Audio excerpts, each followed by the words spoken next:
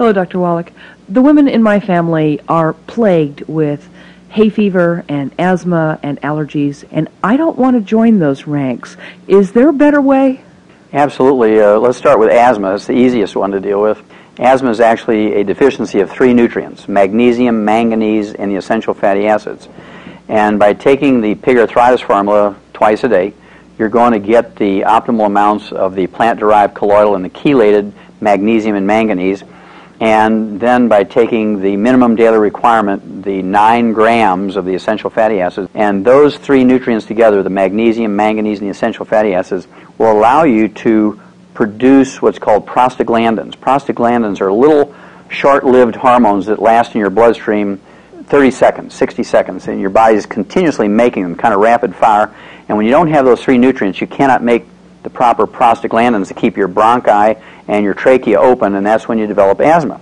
And it's very common when people take all 90 essential nutrients, including the magnesium and manganese and the essential fatty acids, within weeks or months, the tightness, this constant tightness in their chest, is significantly reduced or maybe even totally relieved. The frequency and the severity of their asthma attacks is reduced.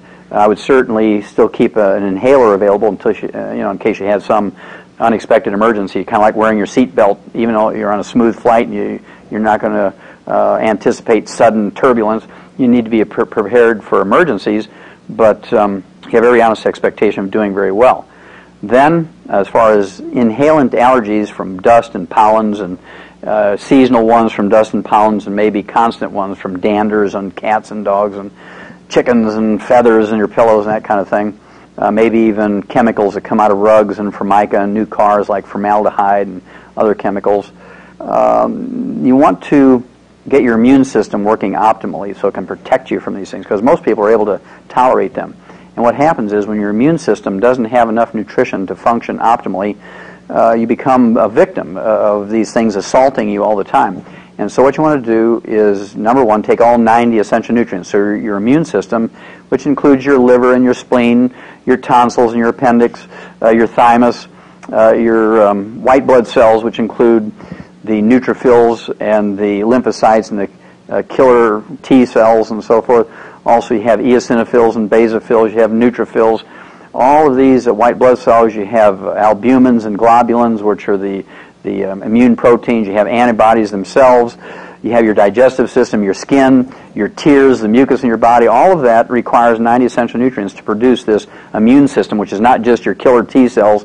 Uh, it, it, includes all of these tissues and, and cells and organs of your body. Uh, also, if you have these types of problems, you want to get uh, some of these HEPA filters uh, at your workplace and your home when you sleep. You can get the ones that you plug in your car.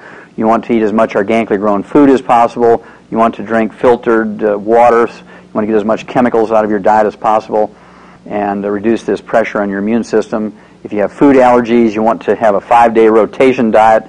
You want to take the enzyme, which has the pepsin and the betaine hydrochloride, which will help a person digest the proteins down into single amino acid, and it's the proteins and the allergens such as danders and foods and pollens and dust that cause the, the uh, allergies and even can initiate an attack of asthma. Thank you. You're very welcome.